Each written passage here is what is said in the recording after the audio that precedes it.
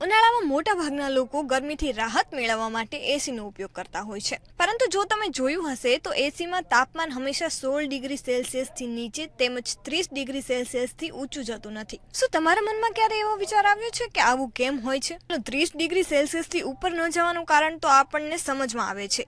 કે એસી ઠંડી હવા આપવા માટે બનાવવામાં આવ્યું છે.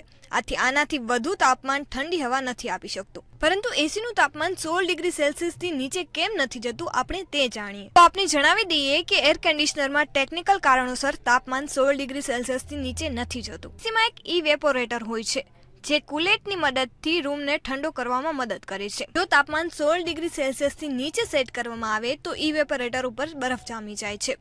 અને તે ખરાબ થઈ શકે છે.